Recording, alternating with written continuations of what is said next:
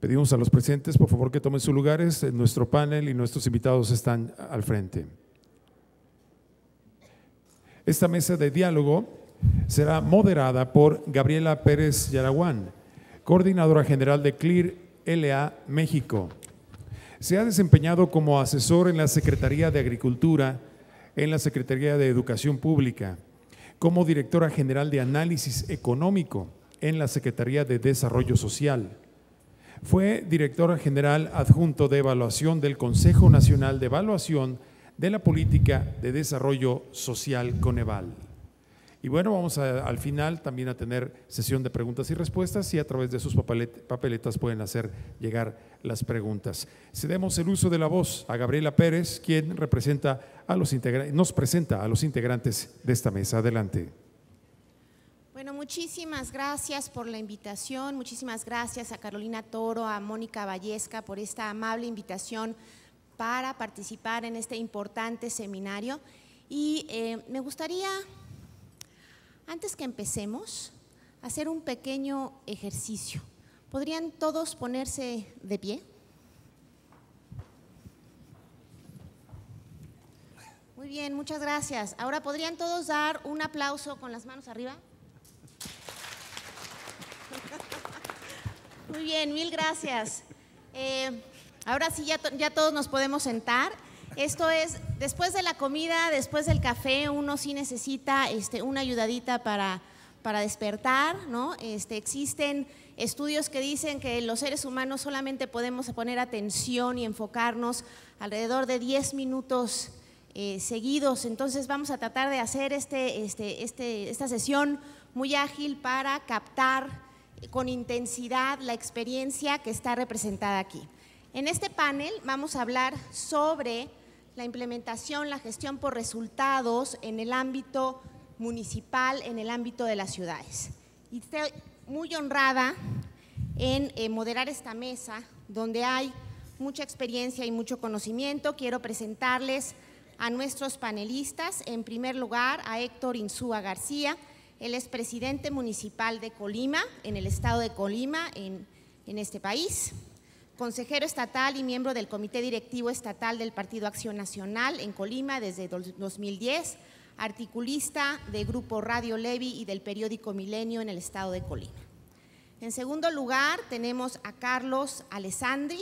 Él es presidente de la Comunidad Regional de Calamuchita, Córdoba, Argentina en 1999 fue elegido diputado nacional por la provincia de Córdoba, cargo que ocupó hasta febrero de 2003. Actualmente es secretario de Integración Regional y Relaciones Internacionales de la provincia de Córdoba. Después tenemos Alfredo Córdoba Soro, él es el alcalde de la Municipalidad de San Carlos, Costa Rica.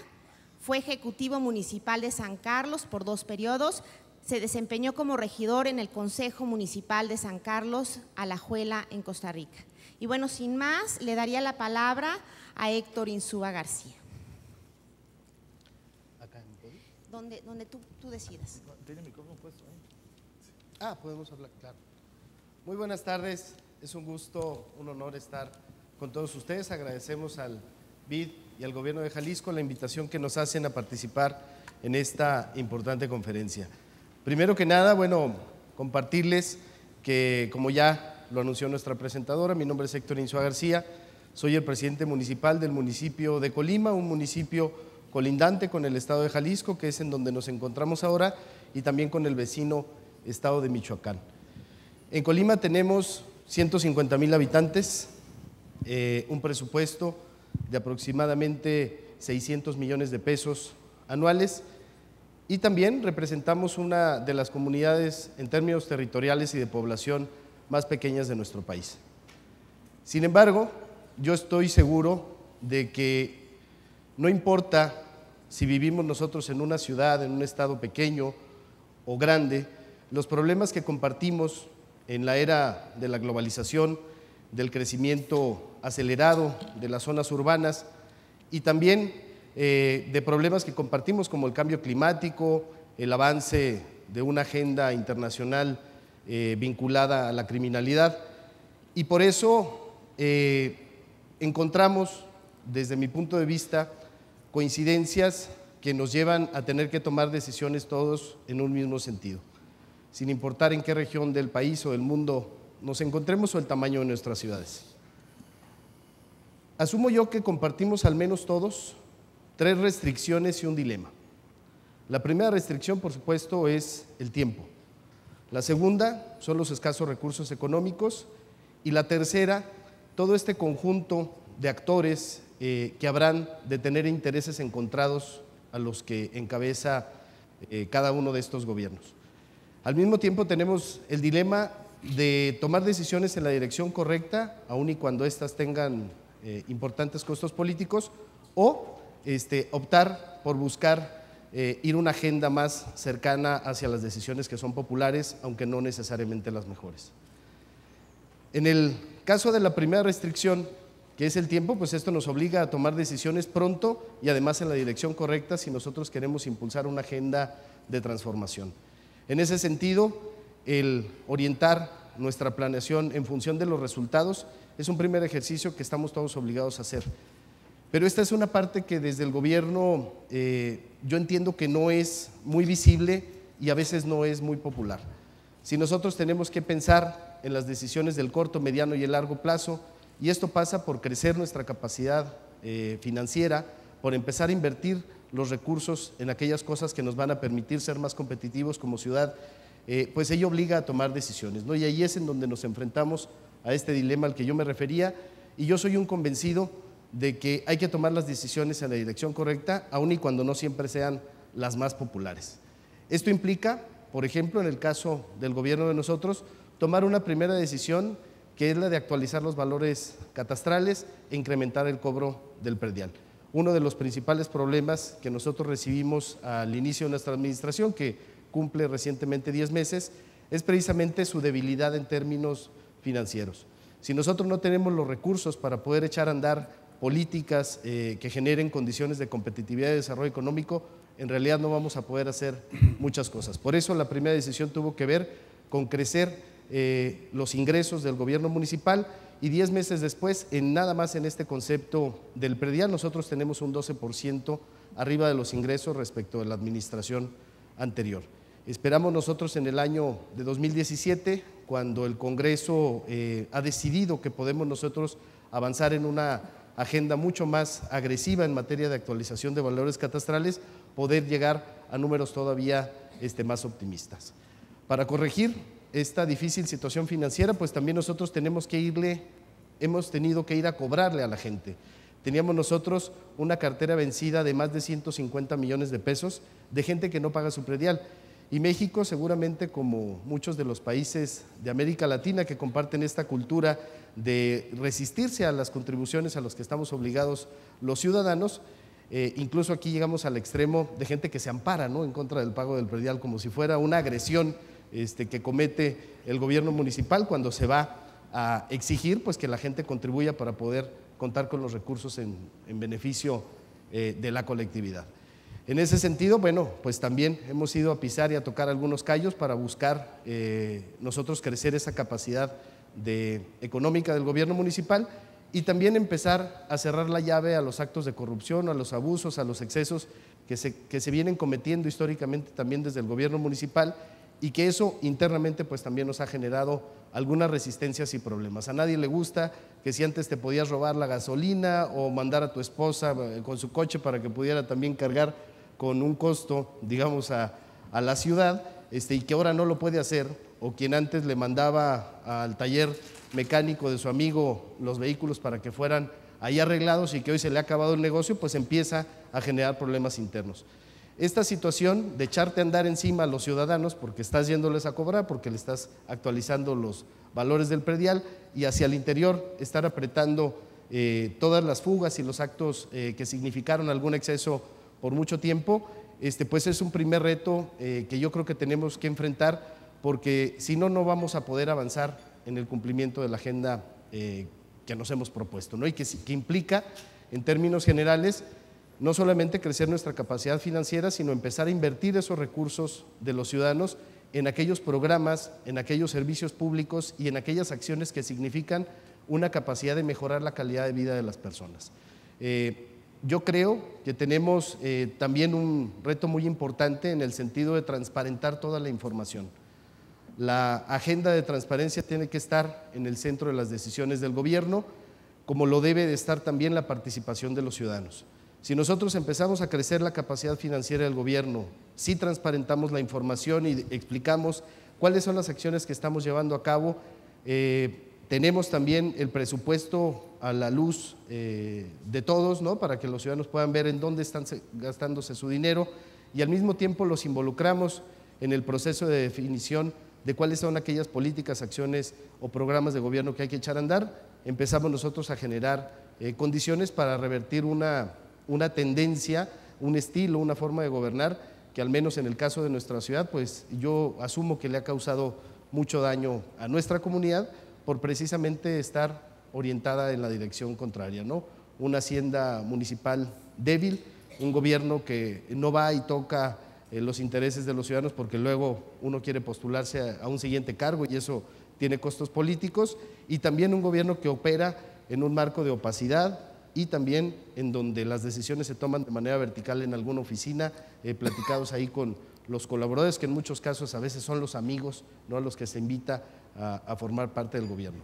Eh, en conclusión, yo creo que para poder avanzar en esta agenda de construir un gobierno orientado a darle resultados a la gente, primero tenemos que tomar decisiones difíciles, segundo tenemos que hacer ejercicios de planeación participativa, tenemos que abrir los datos a los ciudadanos y así poder empezar a generar condiciones para atender la principal responsabilidad que tenemos, que es garantizar la seguridad y la integridad física, patrimonial de los ciudadanos, para empezar a generar condiciones de desarrollo que nos permitan eh, generar equidad ¿no? y, empezar a, hacer inversiones públicas eh, que acerquen los diferentes eh, grupos sociales, la distancia que tenemos entre los que tienen muy poco y los que más tienen, y también, este, por supuesto, teniendo como principales herramientas de esta visión a la transparencia y a la participación ciudadana. Pues son algunas de las cosas que nosotros estamos intentando, que significan, que implican un cambio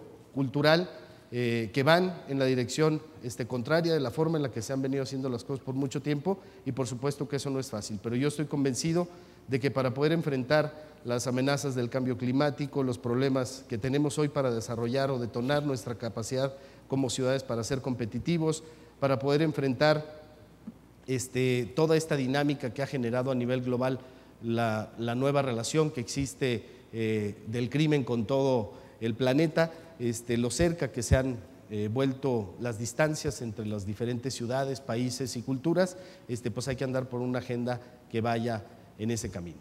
Pues es parte de las reflexiones que en estos 10 minutos este, que me han dado para compartir con ustedes, yo quisiera proponer sobre la mesa y a partir de aquí iniciar un diálogo. Muchísimas gracias a todos por su atención.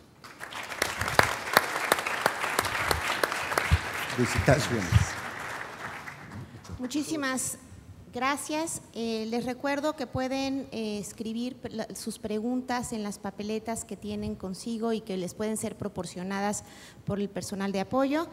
Em, Carlos Alessandri este, va a comenzar este, con un con un video, ¿no? parte de su intervención este, eh, va a ser a partir de un video que les, les podría pedir en la cabina de control que si no los pueden poner.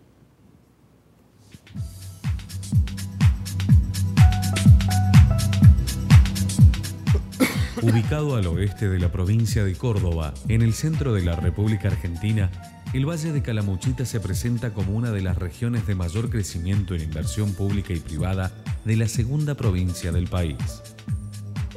Con siete lagos en su territorio y numerosos cursos de agua, Calamuchita es considerada la principal reserva hídrica de la provincia de Córdoba y cuenta además con una riqueza natural que obliga a pensar el presente y el futuro con una alta responsabilidad ambiental y social para potenciar las fortalezas, equilibrar las desigualdades que puedan presentarse y regular el impacto sobre el medio ambiente.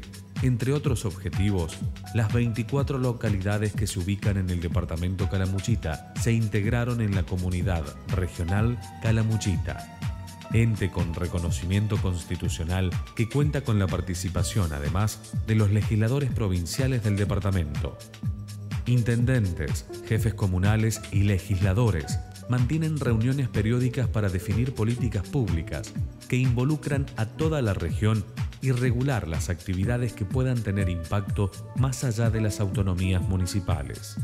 Apoyado en los recursos naturales, en la conectividad con otras provincias y en la variedad de servicios, Calamuchita se ha transformado en un referente del mercado turístico de Córdoba.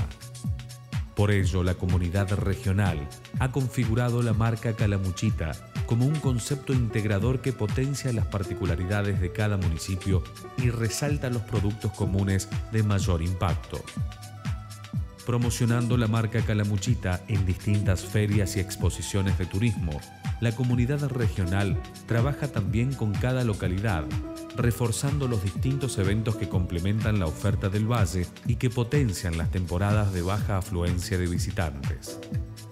Además, la comunidad regional administra el primer aeropuerto turístico del departamento, ubicado en la localidad de Villa Rumipal, cuyo objetivo es ofrecer otra puerta de acceso a la región.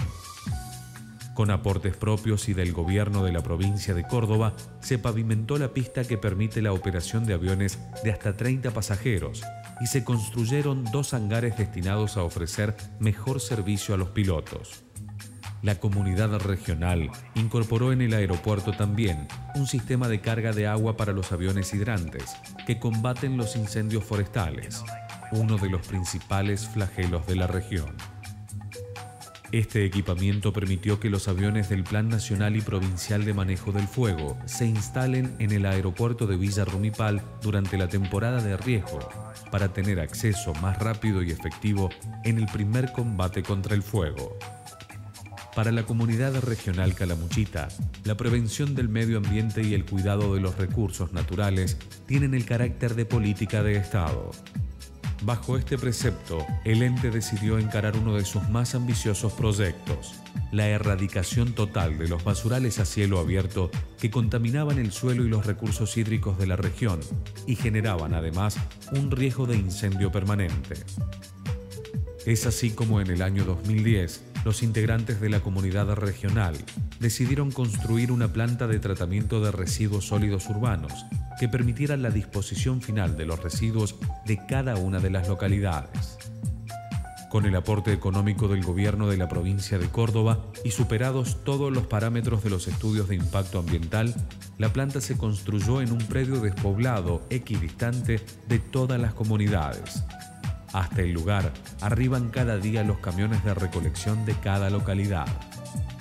Tras separar manualmente los elementos reciclables, los residuos son prensados en una máquina de última tecnología y envueltos en un film de alta densidad que impide el contacto con el agua de lluvia. Los bloques de residuos compactados son transportados luego a fosas de disposición final que cuentan con la protección de una membrana impermeable para evitar cualquier filtración hacia el terreno y la posible contaminación de las napas de agua. Con este procedimiento, la planta trata 100 toneladas diarias de basura, un volumen que se incrementa hasta las 200 toneladas en las épocas de mayor afluencia turística. Las fosas de disposición final permitirán la acumulación de los residuos de todo el valle al menos durante 50 años, previendo incluso el crecimiento poblacional y de actividad turística.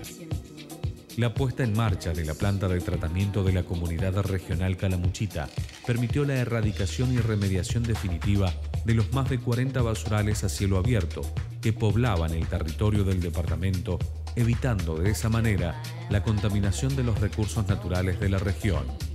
El trabajo mancomunado de los municipios de Calamuchita en el ámbito de la comunidad regional y el debate democrático entre todos sus integrantes ha permitido alcanzar logros de vital importancia para la población del valle.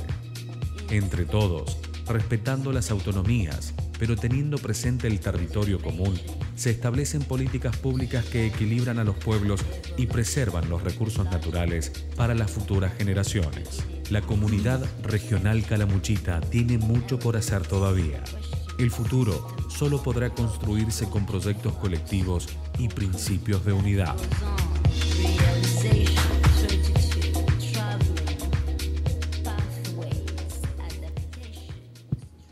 Muchas gracias, Gabriela.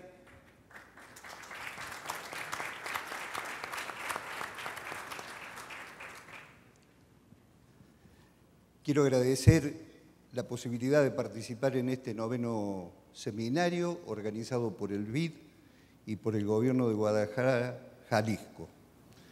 Y también, si me permiten, los argentinos tenemos una deuda de gratitud muy grande con el pueblo mexicano, porque en épocas infaustas de la democracia argentina, quienes somos eh, férreos defensores de la misma, y en la década del 70, cuando tuvimos una dura dictadura militar, acogieron a cientos de compatriotas exilados y les brindaron la hermandad que solamente los pueblos de Latinoamérica pueden brindar. Así que por siempre agradecidos al pueblo y al gobierno de México.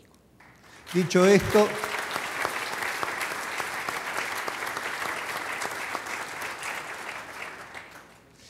quiero decirle que a lo largo de todas las exposiciones que he escuchado en estos días, muy fructíferas, muy importantes y realmente esclarecedoras, es importantísimo que prácticamente hay un diálogo común en los conceptos que cada uno quiere emanar acerca de la gestión, de los resultados, de la transparencia y de la consolidación de los procesos democráticos en nuestros países, que indudablemente tienen que tender al beneficio del progreso, bienestar y desarrollo de nuestros pueblos. Pertenezco a un país que tiene un sistema republicano, federal y representativo de gobierno, que no está muy lejos de las manifestaciones que muchos han hecho acerca de que el federalismo muchas veces se transforma en un unicato centralista. Pero las provincias argentinas, yo pertenezco a Córdoba, que es la segunda provincia en importancia del país, pueden dictar sus propias constituciones, siempre que no confronten con la constitución madre, y poder tener en cierta medida sus propias reglas de juego en materias que son de su competencia, estableciendo bien los poderes del Estado, del Ejecutivo, del Legislativo y del Provincial. Debo decir que a partir del año 99 en nuestra provincia se tendieron a mejorar las calidades institucionales del gobierno de la misma a través de un esquema de modernización del Estado, donde a la par de los ministerios que toda gobernación tiene, se agregaron agencias que eran sociedades de economía mixta para dinamizar distintas actividades como la cultura, el turismo, el deporte, la ciencia, la tecnología. Este tipo de sociedades, estas agencias permitieron realmente poner a Córdoba a la vanguardia de un montón de procesos innovadores en materia de modernización del Estado.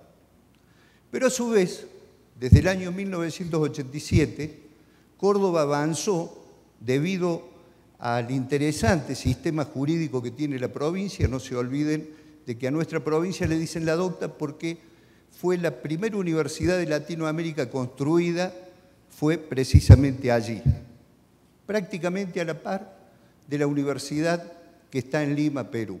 Tienen prácticamente la misma antigüedad en todo lo que se denominaba la corriente conquistadora del Alto Perú. En ese sentido, prohombres y dirigentes de nuestro país se forjaron en los, claustros, universitarios de la Universidad de Córdoba.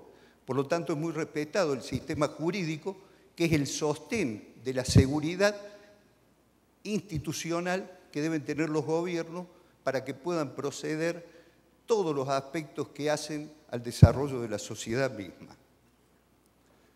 En ese sentido, en este avance en el constitucionalismo social de la Constitución de la provincia de Córdoba, se reglamentó un sistema de autonomía municipal y a pesar de que algunas provincias consideran de que Córdoba peca de municipalismo, ya que tenemos 427 municipalidades y comunas en todo el territorio provincial, un territorio que tiene 160.000 metros cuadrados y donde hay 26 departamentos, incluyendo el departamento capital, que tiene un solo, intendente. En ese sentido, la autonomía municipal con un sistema institucional político, con intendentes, consejos deliberantes, tribunales de cuenta, dinamizan al municipio dándole la jerarquía de gobierno eh, local. Realmente se pueden expresar las jefaturas de gobierno local porque el sistema lo, lo permite. Y ustedes saben perfectamente bien que los intendentes son la cara de la realidad cotidiana, es la cara con los vecinos. El intendente convive en la relación que la sociedad de sus lugares le plantea. Y yo creo que la gestión por resultados debe hacer de que cada mes los cuadros políticos de gobierno deben tener una capacitación adecuada a los tiempos que corren en este sistema de globalización y donde indudablemente los jefes de gobierno local se tienen que transformar en gestores del desarrollo y del progreso de cada uno de sus pueblos. Me están diciendo que ya se me corta. Yo hace nueve años que como legislador del departamento eh, presido la comunidad regional, que es un sistema generado por ley. Hay 25 comunidades regionales en la provincia que nos proponemos objetivos concretos de planificación y lo medimos anualmente en los resultados que obtenemos.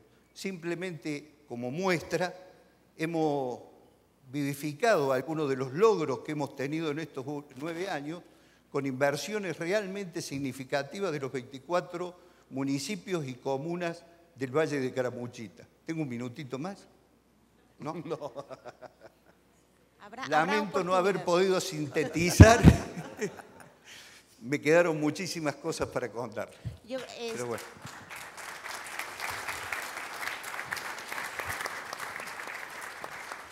Habrá, habrá oportunidad de, profundizar en un minuto eh, eh, más. Em, por lo pronto, ahorita eh, le toca el turno a Alfredo Córdoba Soto. Este, como ya dije, él es alcalde de la municipalidad de. Déjenme ponerme los lentes. San Carlos.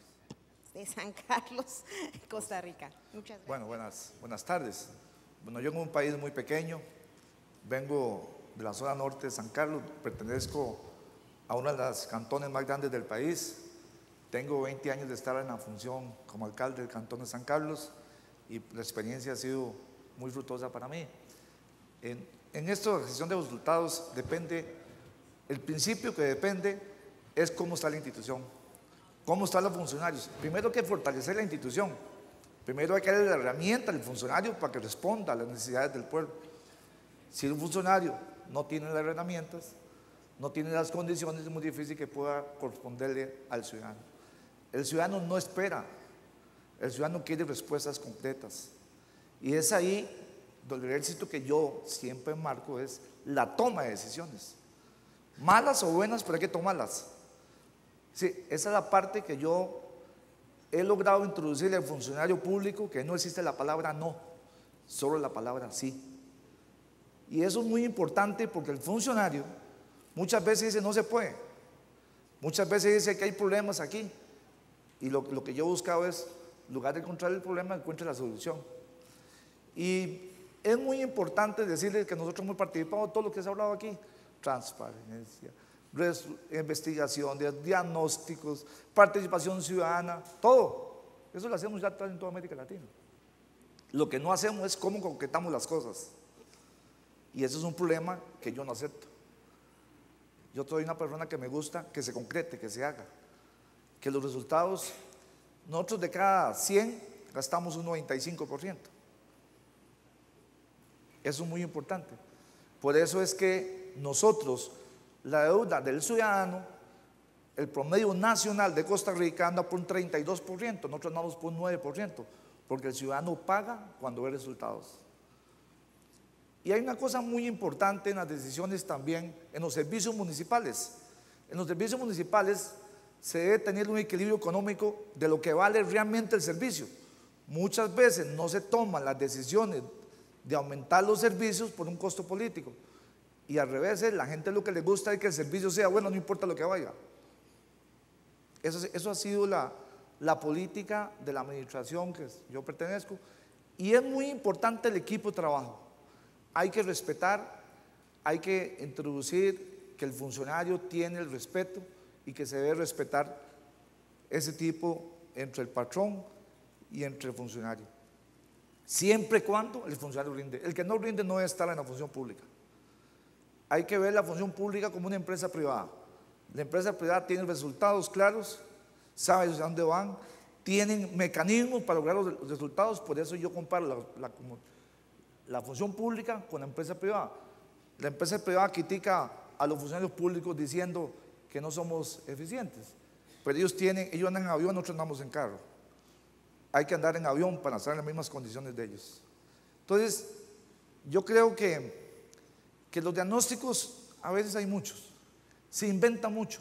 Todo el mundo quiere ser diagnósticos, todo el mundo quiere investigar y todo el mundo quiere participar en consultorías para hacer investigaciones. Y la verdad que la labor del gobierno local que yo pertenezco lo que ha hecho es no hagamos tantos diagnósticos. Ya sabemos cuáles son los problemas del cantón. Y ahí se debe tomar decisiones. Yo siempre lo digo a los compañeros, cuando usted gobierna, no gobierna con el corazón, usted gobierna con la cabeza. El corazón es para la esposa, para los seres queridos. En la función pública hay que tomar decisiones y hay que tener liderazgos. Aunque tenga a alguien, hay que dejar herido en el camino. Y eso, la gente va respetando el liderazgo. Cuando la gente ve que alguien toma decisiones, en América Latina venimos con un problema que como no se toman decisiones y los políticos no tienen credibilidad, cualquiera aspira es, es candidato a la presidencia, cualquiera aspira es presidente en estos momentos porque la gente no tiene, no le importan los diagnósticos, no le importa nada porque al final de cuentas han hecho tantos que no hay resultados. Entonces la gestión tiene que ser muy perfecta, tiene que ser muy concreta y, y principalmente cómo se ejecuta. Yo no sé qué pasa en los países de ustedes, pero una de las debilidades del país de nosotros es la ejecución de presupuestos. La gente pide plata, plata, técnicos y técnicos y técnicos y no concretan. Entonces la gente no ve resultados en las calles. La gente no ve resultados en el gobierno. Y entonces la gente dice que se roban la plata porque no se ven en las calles los resultados. Si usted logra que los resultados, que lo económico vaya con los resultados, que lo económico vaya con las propuestas, el ciudadano reacciona positivamente con los, funcionarios públicos. En un cantón como San Carlos, que es el cantón más grande del país territorialmente, entre las 10 municipalidades del país, es, una zona rural donde tenemos todos los problemas que ustedes se pueden imaginar, porque es zona rural estamos fuera de la capital, en la capital hay 20 municipalidades que no tienen los problemas que tenemos, ocupar el primer lugar es un éxito importante pero también la participación ciudadana hay que motivarla, hay que tener aspiraciones, hay que tener ilusiones y al, ciudadano hay que tener, motivarlo para que tenga ilusiones. Un ejemplo, nada más quiero un ejemplo. Hay un proyecto que cuesta 6 millones de dólares en San Carlos. Es uno de los proyectos más importantes de que el gobierno local inició hace un año. Y lo que tenía yo en presupuesto era 6 millones, 6 mil dólares y costaba 6 millones de dólares. ¿Y cómo arrancamos con ese proyecto? Y bueno, si tenía 6 mil dólares y valía 6 millones de dólares, ¿cómo arrancamos el proyecto? Ya estamos a un 90% de lograr el objetivo. Pero eso no depende del funcionario que está presente. Depende del entusiasmo, la coordinación, el esfuerzo que haga la comunidad, el esfuerzo que hagan las instituciones de gobierno, la coordinación que se tiene que dar en varias instituciones para lograr los objetivos finales. Ya estamos a un 80, 90% de lograr el objetivo. Eso es motivación, confianza, liderazgo, que es muy importante implementarlo, el liderazgo político, la confianza en la, institución pública que usted pertenece. Hay que darle confianza al ciudadano que la institución pública está haciendo las cosas bien y que no importa lo que critiquen. Y esos resultados que estamos logrando, la gente paga. Y la gente paga los impuestos. Y la gente paga el servicio. Y eso eh, ha costado me costó a mí, no lo voy a decir que fue al principio eh, muy nuevo, estaba hace 20 años, eh, estaba más joven. Llegué y decía, ¿cómo voy a aumentar el agua si la gente me va, me no? Y entendí Y entendí que la mejor forma de hacer las cosas es haciéndolas bien. Y aumenté el agua. Y hice una inversión súper espectacular. Y la gente vio que estábamos haciendo las cosas. Y la gente paga el agua con calidad. Y la gente sabe que lo que estamos vendiendo es calidad y por eso pagan los servicios municipales. Así que muchísimas gracias por la invitación. Yo quiero concluir diciendo, dejen de hacer diagnósticos.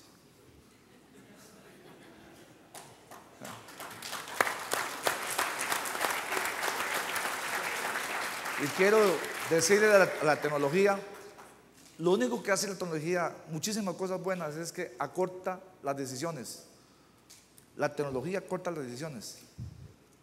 Es lo único que hace. Lo que hay que hacer es que la tecnología permita las decisiones rápidas. Y yo soy muy inquieto, las decisiones son rápidas, malas o buenas. Y el político no se equivoca, no es político. ¿Ah? Y el que cree que, que no toma decisiones no se equivocar, está equivocado. De todas formas, los políticos, yo vivo en Costa Rica, a mí me atacaban porque, usted sabe que a todos los políticos lo atacan por corrupción. Ah, usted sabe, no hay un político que no diga que es sinvergüenza. ¿Ah? Entonces, el otro que competía conmigo hablaba de corrupción, le digo, pues usted también es sinvergüenza, porque eso lo piensa la gente. La gente lo que quiere es que le dé respuesta yo. Porque cada persona cree que su problema él es el más importante. Todos creen que el problema es el más importante. A él no le importa el otro. Es a mí que me está... Y entonces hay que tomar decisiones rápidas, concretas y ya. Muchas gracias. Con el nombre de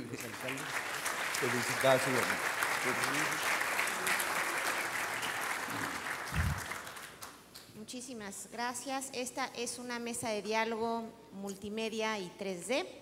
Este, entonces vamos a, seguir ahora con algunas preguntas, primero de la moderadora, en este caso yo, y después de ustedes. Eh, bueno, eh, la gestión por resultados eh, a, nivel municipal creo que enfrenta retos particulares, ¿no? Una porque está más cerca de la población, de los ciudadanos, ¿no? Y por tanto del ejercicio de entregar resultados. Eh, eso lo hace un, reto este, particular ¿no? en el nivel más cercano eh, de gobierno. Y por otra, también este, representa un reto porque, como ya han mencionado eh, casi todos nuestros alcaldes, capacidades y recursos a nivel municipal representan todo un reto. ¿no? Entonces, a mí se me figura eh, mucho los que, estudiamos políticas públicas que la descentralización ¿no? es, una, es la causa y la consecuencia de una falla de gobierno. ¿no? Queremos, queremos resultados eh, en el nivel más básico de gobierno, pero sabemos efectivamente que en ese nivel más cercano de gobierno enfrentamos retos quizá más, más, más tangibles. Tengo tres preguntas, o quizá cuatro, y las voy a hacer de corrido este, y les voy a dar este, la oportunidad de, contestar a esas preguntas.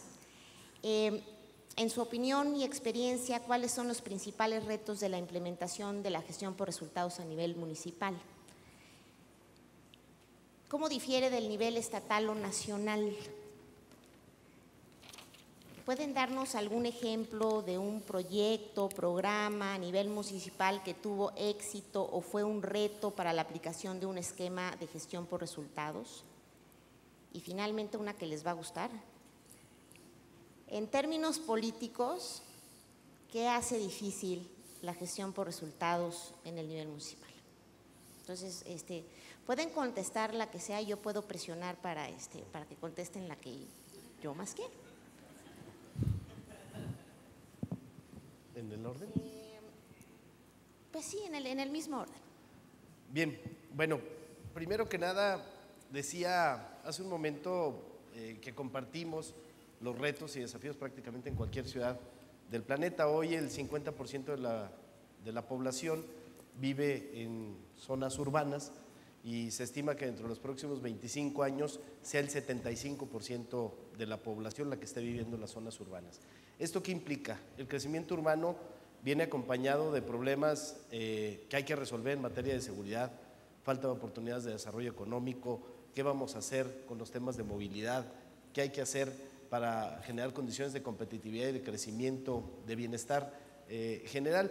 Y yo quisiera eh, iniciar esta segunda reflexión provocando un poquito aquí el debate con mi compañero costarricense. Yo no puedo estar más en desacuerdo con él después de escucharlo hacer esta invitación a dejar de planear, de hacer estudios y de, y de apoyarnos nosotros en las herramientas que nos ofrece la metodología que ha demostrado que se pueden resolver estos eh, complejos problemas que compartimos en prácticamente hoy todo el planeta, con agendas, por ejemplo, como la que está impulsando eh, ONU Habitat, con agendas como, por ejemplo, la que está impulsando la Fundación Rockefeller con 100 ciudades resilientes, grupo del que honrosamente la ciudad de Colima este, forma parte, y también eh, dando seguimiento a las metodologías, por ejemplo, en el caso de México tenemos el Instituto Mexicano de la Competitividad, que ha desarrollado una serie de indicadores que nos permiten medir cuál es el grado de compromiso y de avance que tiene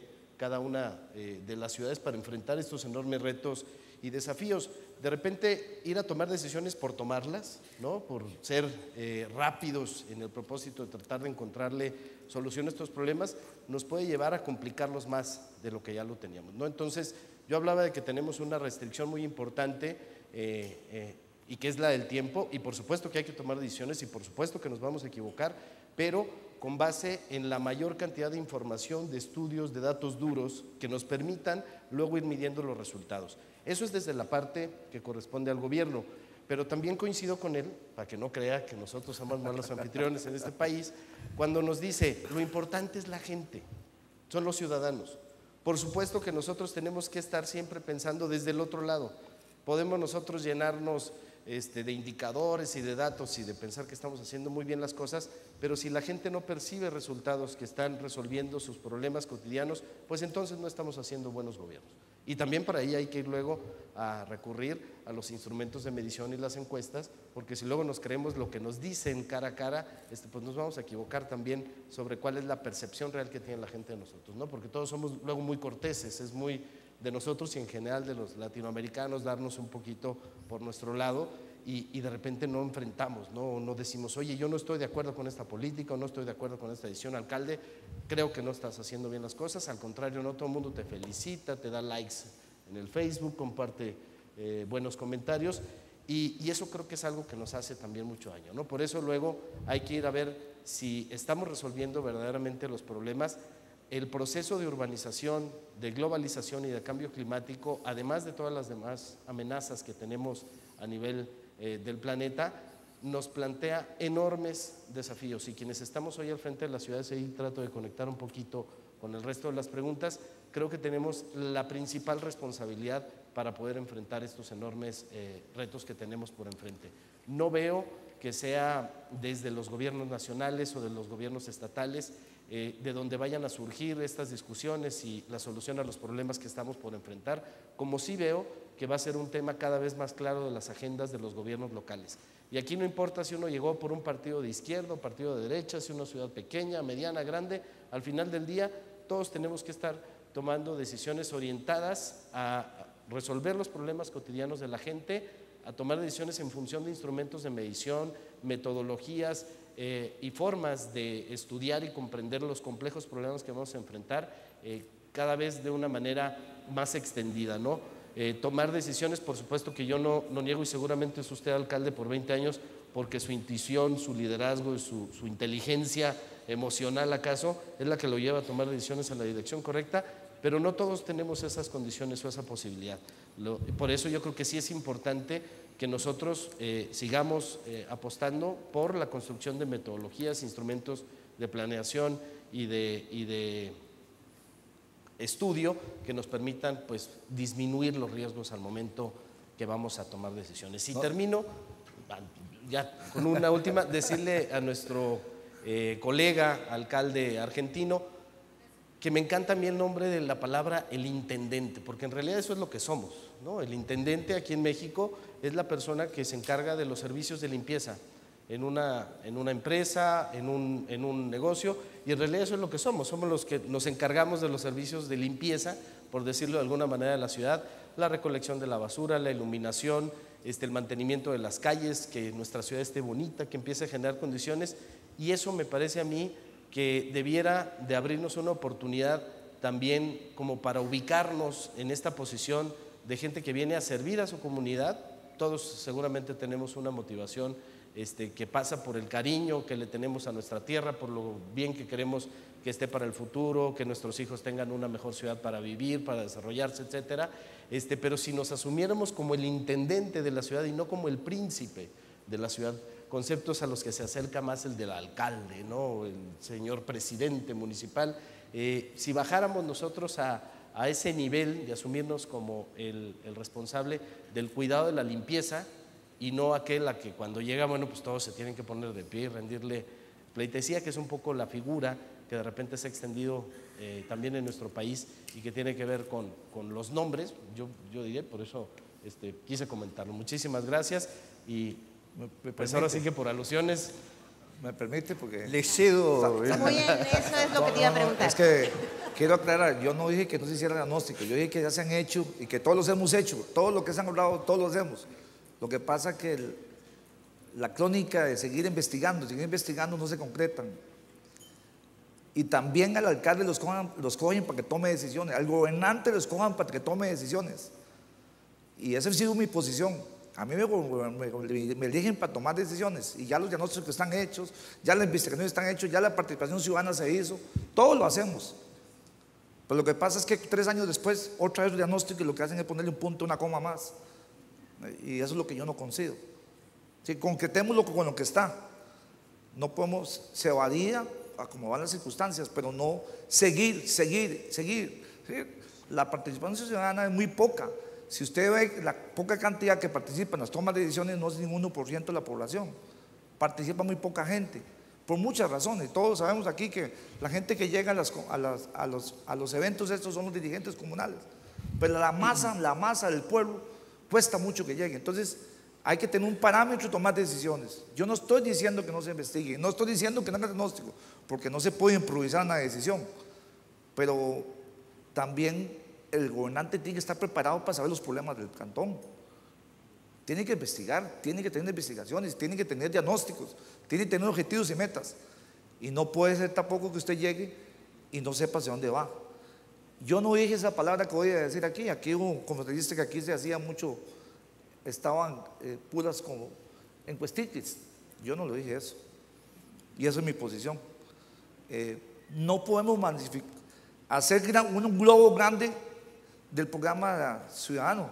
Sí, tampoco podemos hacer un globo y decir que todo tiene que ser la posición del ciudadano. El ciudadano piensa muchas veces no en macro del, ciudadano. Cada uno piensa que mi pueblo es el pequeño, que el pequeño es muy grande, que mi pueblo no, me, no le invierte, que nosotros pagamos impuestos. También tiene que haber una posición de liderazgo y posiciones macros que beneficien al cantón del que está gobernando. Si hay que escoger una carretera, hay que escoger la mejor carretera que beneficie a la mayoría del ciudadano no la que beneficie a un poco de ciudadanos que están mayor organizados. Es decir, hay decisiones que hay que tomar y al gobernante lo eligieron para tomar decisiones. Y si no, y el término de alcalde, o, a mí, y para eso lo pusieron. Tiene que haber privilegios, tiene que haber regalías, para eso, para eso tiene costo la vida. ¿Ah? Yo no le quito los méritos no le quito la... Es como que yo le diga a usted, usted tiene una maestría, entonces no me diga que ya tengo maestría. ¿Cuánto le costó tener una maestría? Tiene un costo, seis, siete años de estudio. Entonces yo soy de la posición de concretar. Y yo quiero decirle que el político, claro, es todos los desesperamos. ¿Por qué? Porque la gestión sea rápida, porque usted necesita hacer obra, porque el, reto cuál es? Que el funcionario que está al frente tome la decisión rápida y se haga la cosa. Porque eso usted se basa en lo que la gente piensa. Si fuera por la bonita cara o porque fuera, uno no le importaría. Es por eso el alcalde en voto popular es el mejor éxito del mundo, porque tiene que preocuparse por lo que piensa la gente y por los resultados. Un alcalde que no tengan resultados no se, no se le ha reelecto, por lo menos en Costa Rica. Yo no sé otra parte del mundo, pero en Costa Rica el alcalde que no ha resultados, muchos no fueron reelectos porque no habían resultados. Y yo les digo, si a usted le pueden decir que es el sinvergüenza más grande, pues si hay resultados votan por usted. Es una, es una cultura. La gente, por más que usted explique, dígame quién da rendición de cuenta diciendo que todo está malo. Yo no conozco un alcalde que haya rendición de cuenta diciendo que está malo. Todos dicen que es la maravilla, que superaron tal cosa, y el otro, si llega otro dice que hicieron tal cosa. La gente no cree. La rendición de cuenta tiene que hacer por otro tiempo tecnología, Facebook, eh, internet, pero la gente usted va a una exposición y se pone al frente y usted es la maravilla del mundo. En Costa Rica se dice varias cosas. No hay muerto malo ni chiquito feo. En rendición de cuentas no hay alcalde malo.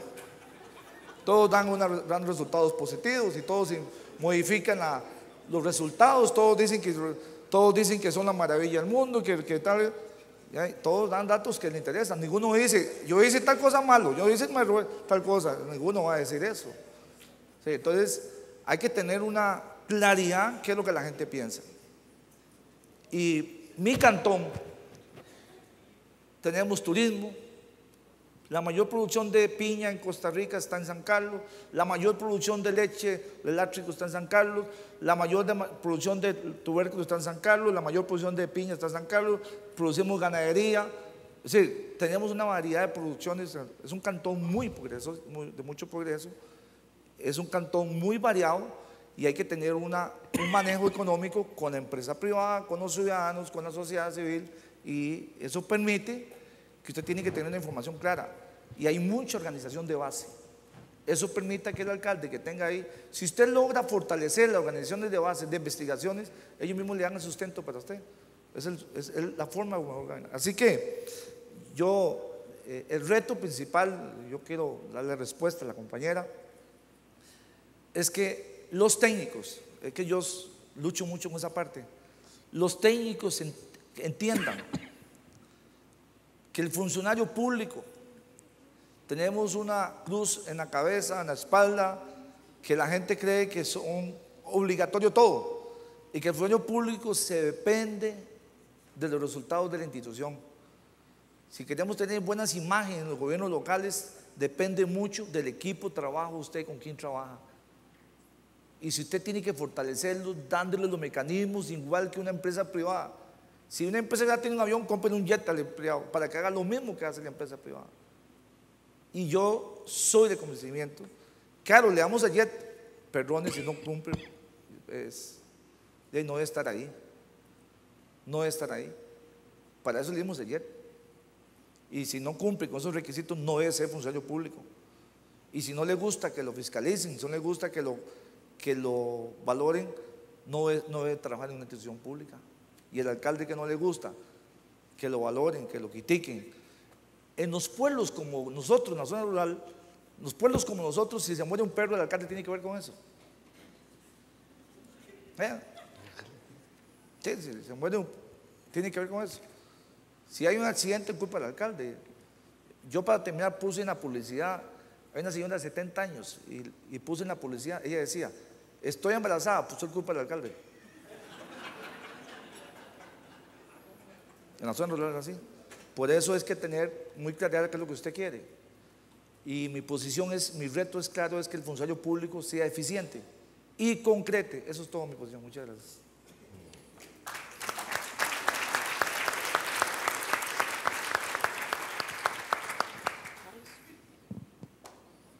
Muchas gracias. Interesante debate. Es la que es la única que Como decía un viejo amigo, mejor que prometer es realizar. Y creo que en definitiva de eso se trata. En campaña se prometen muchas cosas. No creo que nadie llegue al gobierno de una intendencia, de una gobernación o de un país con buenas intenciones. Muchas veces el camino al infierno está regado de buenas intenciones. Y muchas veces los anhelos más santos se transforman en objetivos frustrados. pero creo que la consolidación en definitiva del continente que tiene cada una de nuestras acciones es la democracia.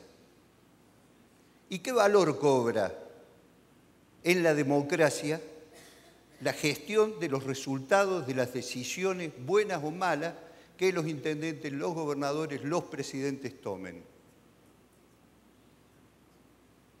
Existe un elemento común a todas estas circunstancias que es precisamente la gente, la gente de carne y hueso que genera a través de las promesas electorales que se hacen expectativas, sueños, ilusiones, y esto es en todos lados. Y es la gente la que decide con las herramientas que la democracia le da la calificación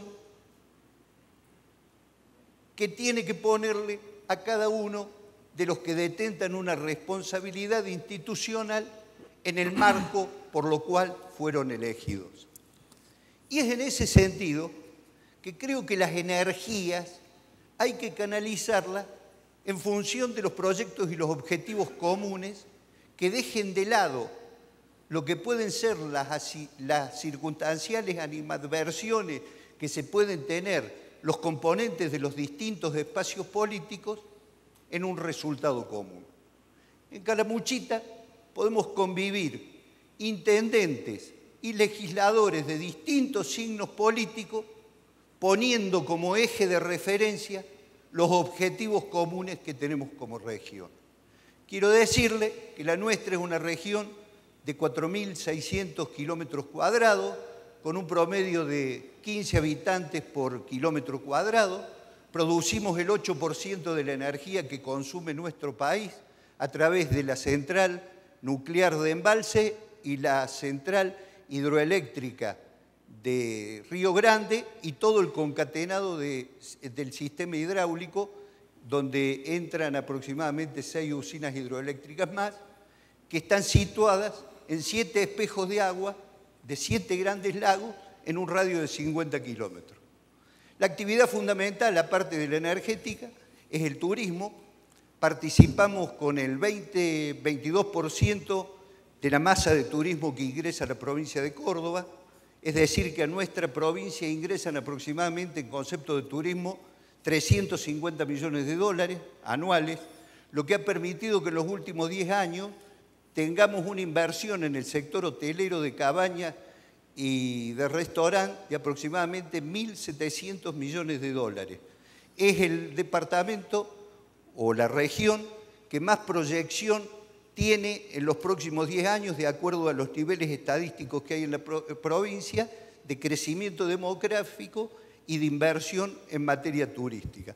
Esto se debe a programas que hemos desarrollado desde la comunidad regional, donde hemos encarado la infraestructura vial, hemos la conectividad con distintos centros turísticos de la provincia y de otras provincias, y todas las obras de infraestructura necesarias para poder dejar de lado las pequeñas miserias de la política partidaria para determinar políticas de Estado, en materia de educación, en materia de salud pública y en materia de las necesidades urgentes que tiene la gente. Yo definiría esto como tres niveles. El nivel de los intendentes donde todos los días tienen que lidiar con la infraestructura básica de servicios y las necesidades de la gente. De los que menos tienen y de los que más tienen. Porque los que menos tienen reclaman generalmente techo, comida, trabajo, educación, salud. Los que más tienen, condiciones de seguridad, las inversiones y la rentabilidad que hacen en las mismas.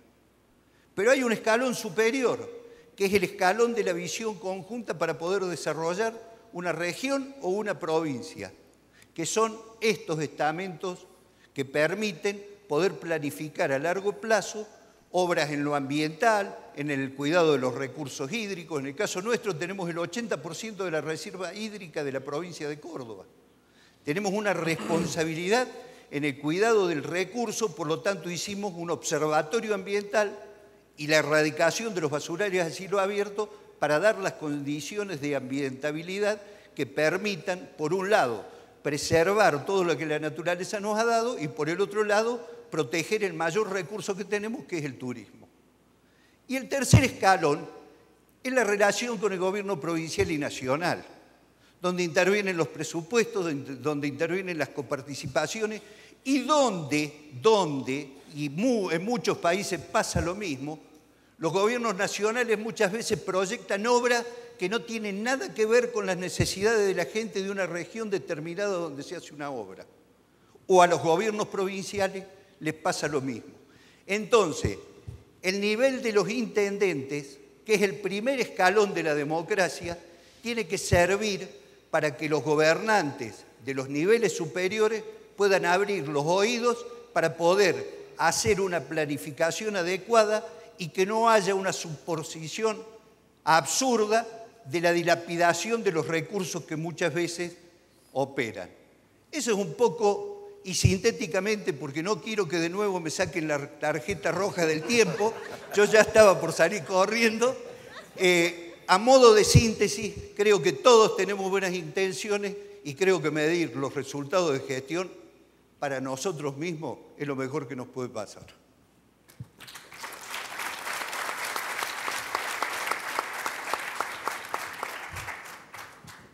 Eh, muchísimas gracias. Tenemos tiempo para otra ronda, entiendo, y para ello eh, voy a hacer uso de las preguntas, ya que no contestaron casi ninguna de las que yo les hice. No, yo sí contesté dos. A ver si las de ustedes, ustedes tienen mejor suerte que yo.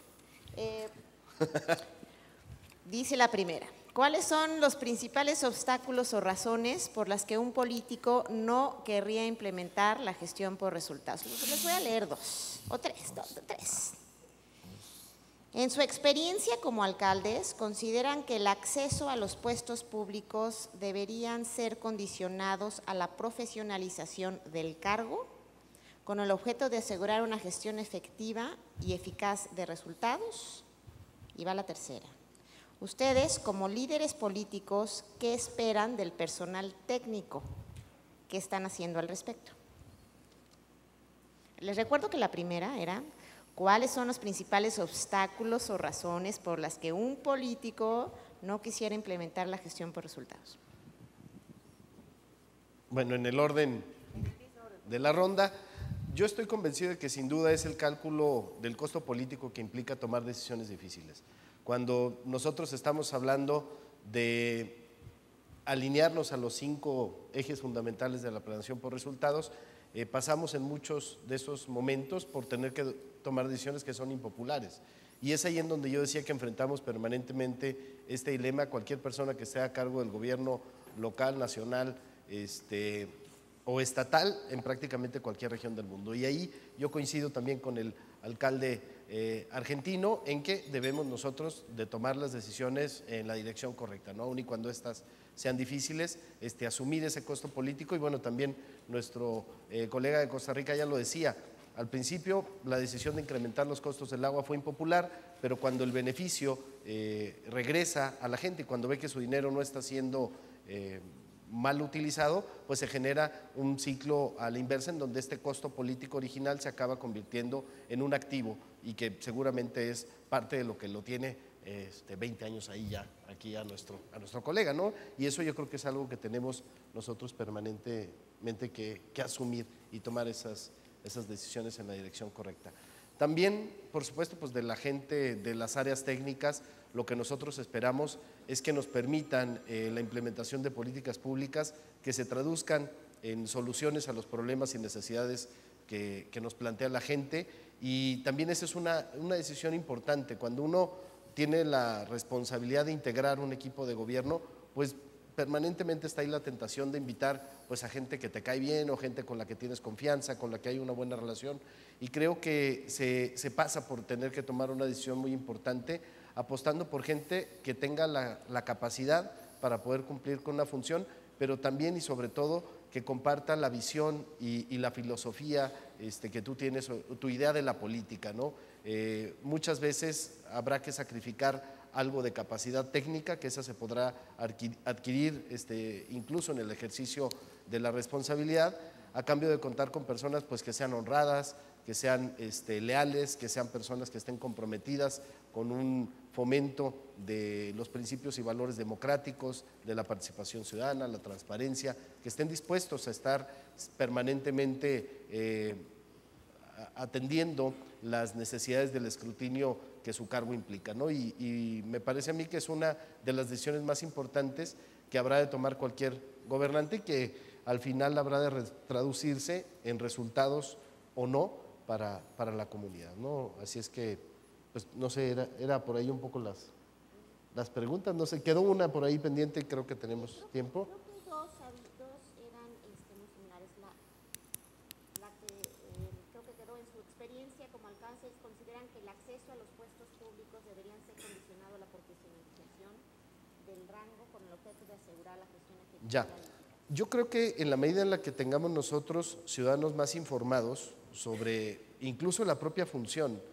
¿no? Se confunde, de repente tenemos eh, casos en donde las personas vienen a reclamarte asuntos que son eh, gobernados o dirigidos en el ámbito federal o en el ámbito estatal y eso pues genera muchas confusiones. ¿no? Yo creo que en la medida en la que tengamos ciudadanos más informados, más involucrados en el proceso de toma de decisiones, se pueden ir dejando eh, cada vez más claras las competencias que debe de tener un gobernante.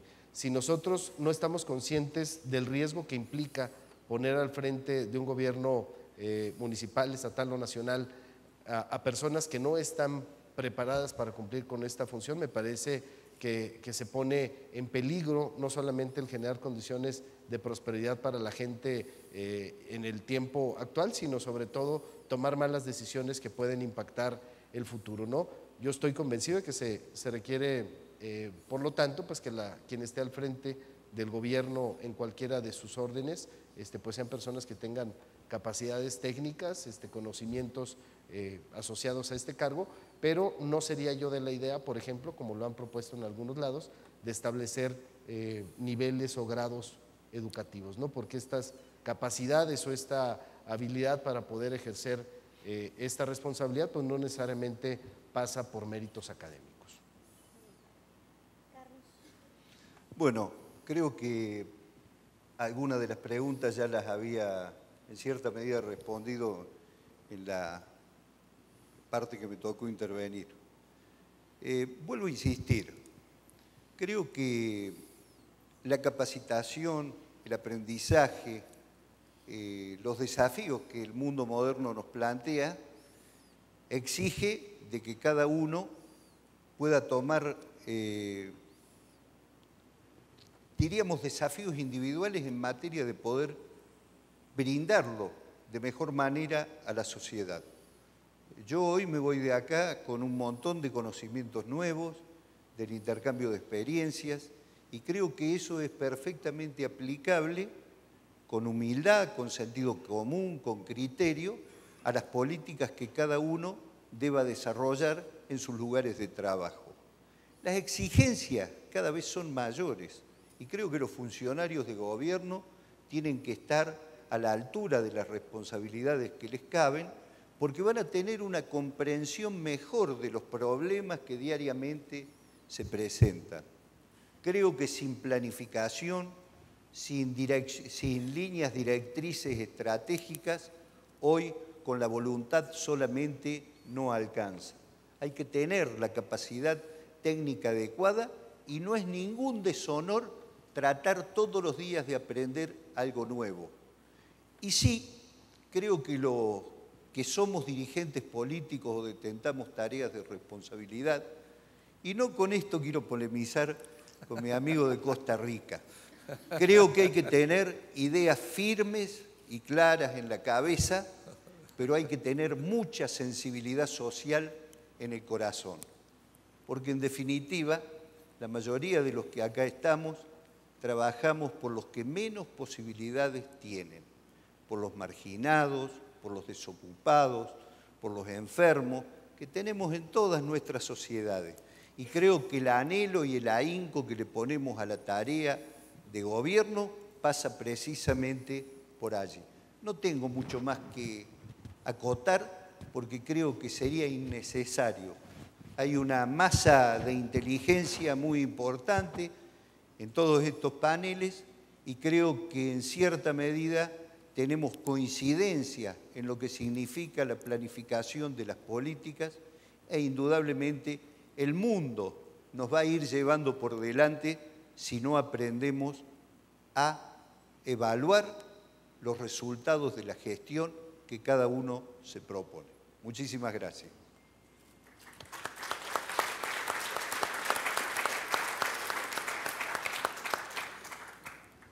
¿De qué tira? A mí eso va a tener que responder, pero de último.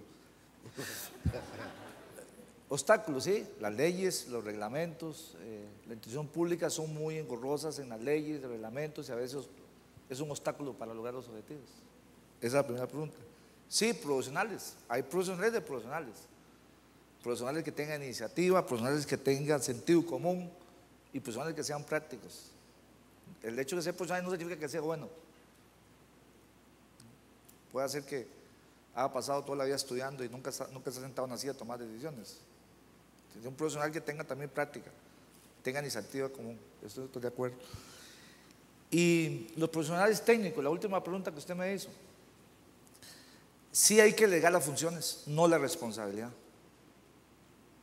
Y yo creo que el éxito de un buen alcalde es tener la confianza y delegar las funciones a los departamentos para que, pero no la responsabilidad. Tiene que haber una, una fiscalización, tiene que haber un monitoreo, una, un trabajo de, equipo del alcalde para ver qué se está haciendo, que las cosas están haciendo bien. En, altas, no se puede permitir que un alcalde no tenga la información clara de lo que está pasando en la institución, no importa cuál departamento. Sí tiene que haber independencia, sí tiene que haber respeto en el técnico, pero no, puede, no se puede legar la responsabilidad. Y señor, eh, señor argentino, yo, yo dije en dos sentidos, las decisiones se toman con la cabeza, no con razón. No significa que no tenga programas sociales. Claro que tengo programas sociales. Es que eso no es una novedad a los alcaldes. Tengo programas sociales y hay que tener la gente social y hay que darle servicio a los más necesitados. Pero hay decisiones. El pobrecito no existe. En la función pública no existe el pobrecito. Porque al final de cuentas, el costo del pobrecito se lo cobran a usted. Yo no puedo decir no aumento las tarifas porque pobrecita la gente y, y el servicio está malo. Hay que tomar la decisión para que la gente esté mucho mejor en los servicios. Entonces, el pobrecito, el que no se aumento porque la gente no puede pagar y al final de cuentas, ya son decisiones. Eso es lo que yo me baso. No estoy diciendo que no estoy de acuerdo en abrazar a un niño como hacen muchos. O que, no, no, no, no, no, no, no. Los servicios están claros en mi municipalidad. Hay servicios sociales espectaculares. Atendimos más de 15 mil personas el año pasado en las partes sociales, en programas de mujeres, programas sociales. Espectacular. Pero yo no me baso en eso porque es obligación de los gobiernos locales. Yo me baso en otro tipo más macro. Yo no puedo estar diciéndole a ustedes que el diagnóstico aquí es que un chiquito no tiene que comer. Todos sabemos que en todo el país, el mundo, no hay gente que tiene que comer. Es cómo logramos que esa gente tenga otro tipo de vida. Esas son las decisiones que a mí me gusta tomar. Para eso existen programas sociales en, en Costa Rica que lo maneja el gobierno central para eso. Y bueno, eso es lo que yo me basaba. No estoy peleando mucho con ellos, pero es que no hay que dejarse tampoco.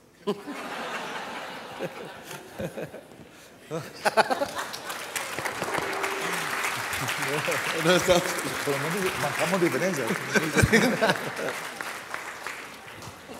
Yo lo daba por hecho que era así. No tenía ninguna duda. Debe ser divertidísimo tenerlo como competidor allá en su país. Sí. No me Y no les va muy bien a sus competidores, por lo que vemos. Así es que ya más vamos haciendo las paces. Muy bien, en este, en este espíritu entonces eh, vamos a dar por, por terminada esta mesa. Les agradezco a los tres alcaldes su disposición, su buena vibra, ¿no? Para conseguir, y seguramente esta mesa de diálogo ha sido una de las mejores mesas de diálogo en este seminario. Muchas gracias a todos. Muchas gracias a todos los expositores. Muchas gracias a Gabriela Pérez por eh, moderar esta, estas presentaciones. Y bueno, a continuación pedimos la presencia de Carolina Toro. Ella es subsecretaria de Planeación y, Evaluación del Gobierno del Estado de Jalisco, que hará entrega de los reconocimientos a los participantes de la mesa de diálogo, retos políticos en la gestión para resultados en el desarrollo de las ciudades de América Latina, perspectiva de Alcaldes. Y agradecemos precisamente a Héctor Insúa García, presidente de la ciudad de Colima. Agradecemos también, bueno, lo que llega, ahí están los, los ah, Pablo Roca y ahorita agradezco a Carlos Alessandre, Alessandri y a Alfredo Córdoba Soro. Adelante.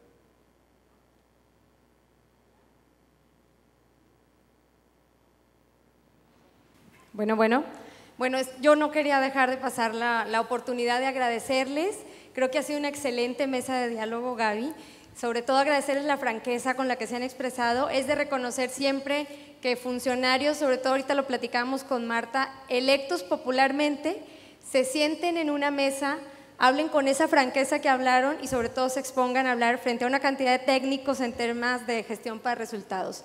Es eh, de verdad les agradecemos mucho que hayan estado aquí y yo les pido un aplauso para esta excelente mesa de diálogo. Muchas gracias a ustedes.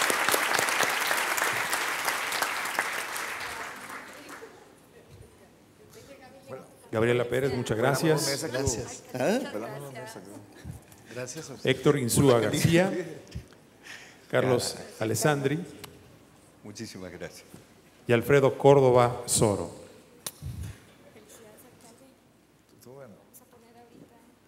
Sí, pues el tuyo.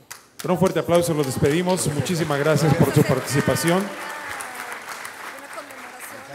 Muchísimas gracias. Y agradecemos a todos su participación este día. Los esperamos el día de mañana en punto de las 9 de la mañana para continuar con los trabajos de este seminario. Que pasen una excelente tarde.